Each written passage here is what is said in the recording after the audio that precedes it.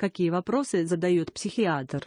В первую очередь психиатр начинает беседу с расспросов пациента о его биографии, социальной жизни, отношениях с родственниками и друзьями.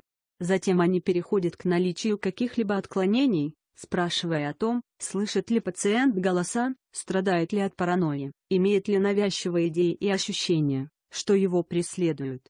Обязательным пунктом беседы является вопрос о наличии у пациента суицидальных мыслей. При этом следует отвечать максимально честно, чтобы психиатр смог составить клиническую картину проблемы. Для прояснения более четкой ситуации психиатры обычно задают провокационные вопросы, одновременно наблюдая за эмоциями, реакциями и мимикой пациента, а также пытаясь спровоцировать его на какие-либо действия. Такие вопросы задаются для выявления шизофрении, навязчивых тревожных состояний, а также нарушений когнитивных процессов и мышления. Кроме этого, при ответах пациента психиатр может изображать непонятливость, чтобы вывести его из себя и разоблачить ложь.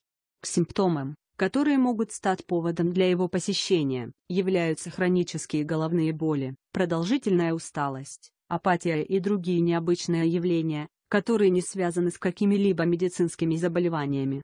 Если вы хотите быстро похудеть или набрать мышечную массу, зайдите на сайт Athletic Athletic Block.ru – это научно обоснованные программы тренировок по фитнесу и бодибилдингу, эффективные диеты и планы питания. Здоровый человек успешен. Athletic Block.ru